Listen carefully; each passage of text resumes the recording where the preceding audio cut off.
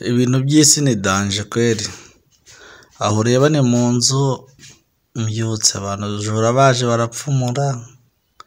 Iyo nzu nk'uko uyibona niyo mbamo nta handi hantu ba- bapfumuye ahantu bazi ko hateganye na televiziyo ahantu iba. Bapfumuye bapfumura hanze amatafari bayomuraho barinjira batwara gaze. Batwara na televiziyo na dekoderi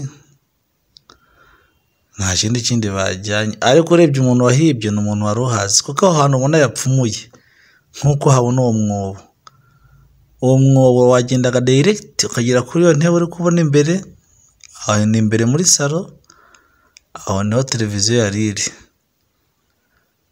Kandi bapfumuye mu ma saa kumi gutyo saa cyenda n'igice na mirongo itanu saa cyenda na mirongo itanu. Ni ho bapfumuriye. Urabona ko inzu ari ndende ntabwo bapfumuye hirya cyangwa ngo bapfumure hino. Reka da. Baje neza rwose dayiregiti ahantu bari barahabaze ahantu televiziyo iri ubona ko ari naho soketi yari iri ya- y'amashanyarazi barinjira batwara gaze batwara na televiziyo. Kandi ikintu kibabaje ni uko twibwa n'abantu batuzi disi dore nk'ubu nk'uko ubona ukinjiramo imbere aho ni ho hari televiziyo. Ibindi byose babitwaye.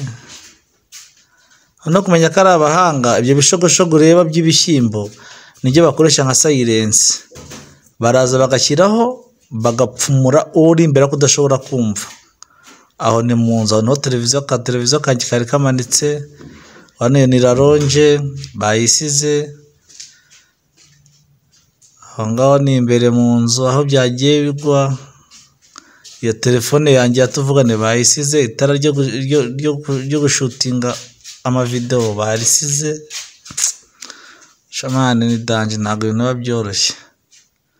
Ariko urabona ko bapfumuye dayiregiti ahantu hari soketi y'amashanyarazi. Ahantu ahantu hari televiziyo. Aho ni hanze nk'uko ubibona